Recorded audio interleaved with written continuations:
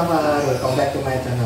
Ya kali ini aku akan review figur. Dan ini figur cewek ya guys. Nah ini dia. Ini Ichika Nakano dari seri Gotobun ya. Dan ini untuk dress ini itu serinya ini Cuties ya. Nih. Nah penasaran isinya seperti apa? Langsung aja aku unboxing biar kalian penasaran juga. Yuk. Nah Oke mari kita lihat isinya seperti apa ini. Apakah bagus? Oh, seperti ini guys dalamnya. Jadi sudah ada karton ya ini ya, kardus coklat. Ya. Oh, figurnya aman ya di dalam sini. Nah, seperti ini.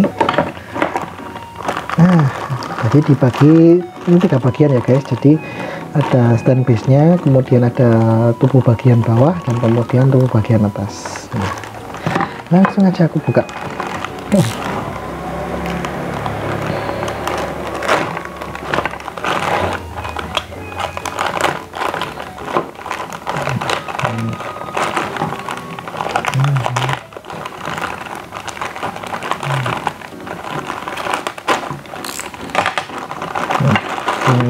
dan base nya seperti ini ya hitam polos ini ya. Tuh. Kemudian langsung aku rakit aja. Nah ini. Pasang aja di lubangnya ini ya guys.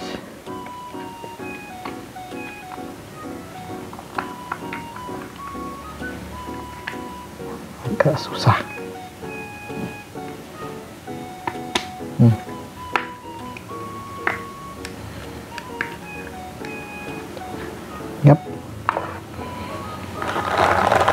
kemudian untuk bagian atasnya.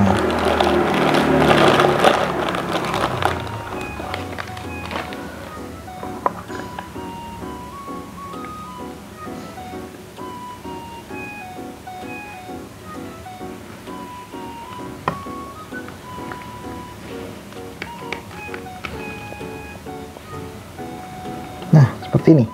Oke. Jadi sebentar nah ini ya jadi tampilannya seperti ini ya untuk uh, Ichika Ichika Nakano ya. Jadi ini anak pertama dari si kembar lima itu tampilannya seperti ini. Nah cukup seksi juga ya guys ini ya. Hmm. tuh. Ah bagus bagus bagus. Oke. Okay.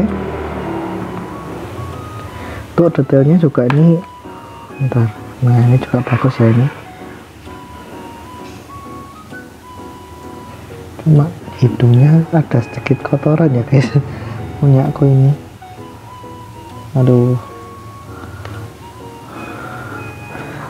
Nah. Terus seperti ini. Nah ini bagus nih guys. Ya seperti apa ya gelangnya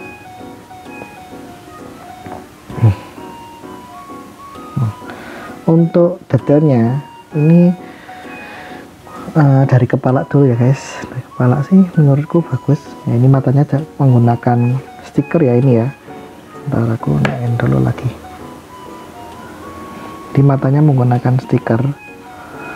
Hmm, detailnya bagus sih ya. Kemudian ini juga ada rona pipinya tuh tuh kan rona pipinya sedikit ya ini ya. Jadi rona pipinya ini dibuat uh, bukan dibuas gitu ya tapi dibuat garis-garis garis gitu ya. Dan kemudian ya aduh ini ini hidungnya. Hidungnya ini ada tak tahu nih uh, cat atau kegores ini ya. Tuh sayang sekali nih. Jadi ada titiknya seperti itu ya. Kemudian untuk bibirnya sendiri ini diberi warna merah ya ini ya. Ya seperti lipstick tipis gitu ya bagus. Nah kemudian nah, untuk antingnya sendiri ini warnanya silver gini ya. Dan kanan kiri sama antingnya. Tuh. Untuk rambutnya warna pink ya ini ya. Pink solid. Ya. tuh. Nah. Kemudian untuk uh, aksesoris di lengannya. Nah seperti ini seperti gelang lengan ya ini ya. Yang model silver gitu ya mungkin ya ini ya. Warnanya juga silver ini. Hmm. nah ini bagus sih ini. Dan kalau dipegang ini memang enggak mulus ya jadi seperti agak timbul gitu ya ini ya. Tuh kemudian untuk gelang satunya seperti ini. Nah gelang tangan yang besar ya. Oke nah, untuk bajunya sendiri seperti ini ya guys jadi uh, gaunnya kan warna hitam. Nah kemudian untuk bagian dada sini ini transparan ya guys. Tuh ini transparan. Tuh transparan ya.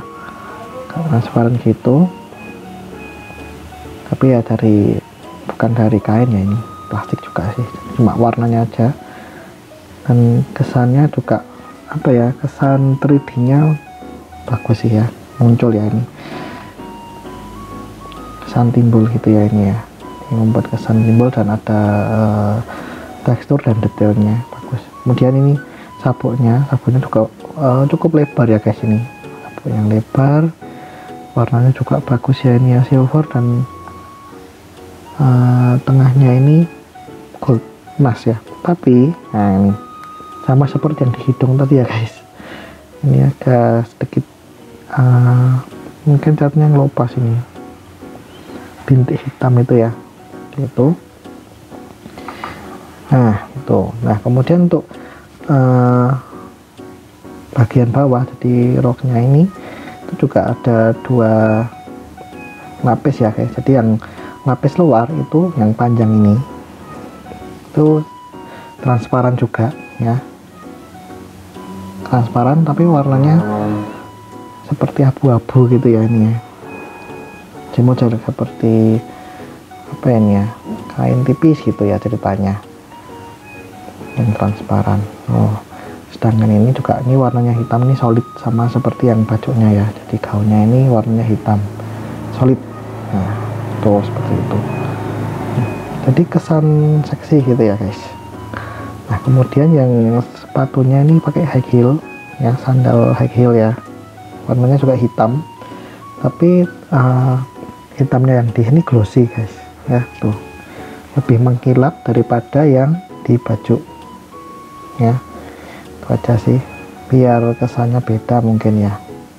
Itu nah ekspresinya juga bagus ya cukup ya, menggoda juga. Gitu. Oke. Okay.